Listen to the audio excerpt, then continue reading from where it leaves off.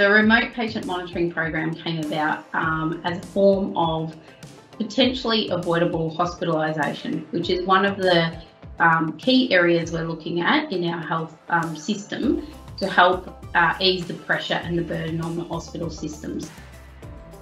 Remote patient monitoring allows a patient to take a device home to actually monitor their health condition, and that feeds directly back to our nurses and GPs. So it helps them uh, intervene when, intervene when something needs to happen, but it also means the patient builds health literacy around understanding their condition and when they need to seek help.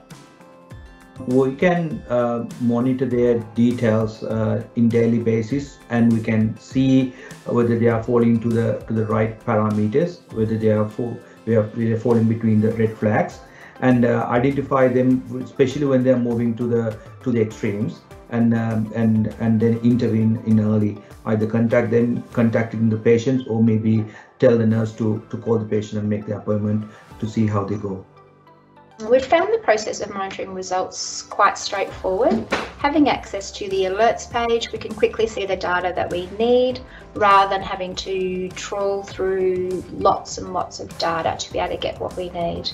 I think it's great. It's fantastic in the way that if you have any your oxygen sats drop low and your heart rate's high, it will message your doctor, it will message back to you and it will let your doctor know there's something wrong. And your doctor, it, it message your doctor straight away. It'll let him know there's something wrong and your doctor can contact you at home. Oh, I found teaching people how to use the app quite simple actually. The app is quite uh, synergistic the way it works, it's very straightforward, very clear.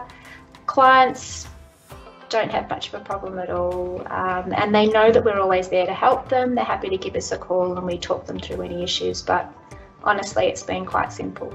Once you set it up with your phone, and your doctor will help you set it up with your phone, and the company that comes in sets it up with your phone, it's fantastic. It's really easy to use. Yes, it's been easy to get into.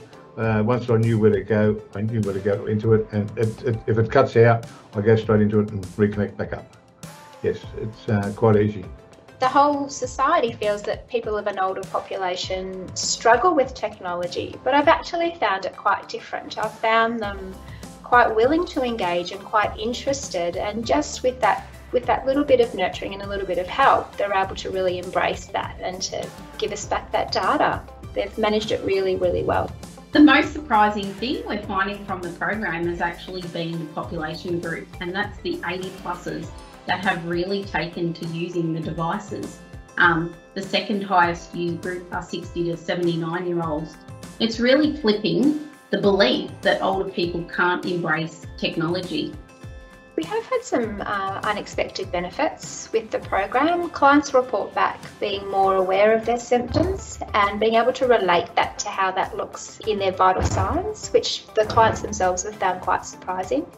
Uh, we've even picked up on some changes in patients' health which we didn't expect, which were evident before they had a deterioration. And they can actually see through my monitoring if there's anything like um, if my oxygen sats are high or my blood pressure is high, it will come back to through my phone and let me know. So it's great, fantastic like that. It has been a very good positive experience. Um, I know where I stand you know, if I have uh, any problems, I just get in touch with my doctor or my GP, you know, straight away and make an appointment to see him. The feedback we're getting is mostly from patients who are actually loving the program and it just gives them reassurance that their GP or nurse knows exactly what's happening with their condition. Have I found extra engagement? I feel I have because We've been able to go with clients to their GPs. We've helped patients articulate their symptoms, their signs. We've helped patients to be able to ask what they can do to stay well, whereas previously patients didn't seem to feel that there was any way they could stay well. Yeah, I think it's a great program for the patients. Uh, I would like to see that more and more patients uh, enroll into the program um, and more and more patients to take the responsibility of looking after their health. I just feel there's so much room to just push it, push it further and push it further. If we could just keep pushing, it would be great. Uh, patients that uh, have heart surgery or got problems, yes, they, they need to be in a program like that uh, so they can learn what they're doing, you know, and they can monitor their own blood pressure and that, you know, which is uh, quite interesting. And I would recommend it to anyone to do this study. I think it's fantastic. Really, really good.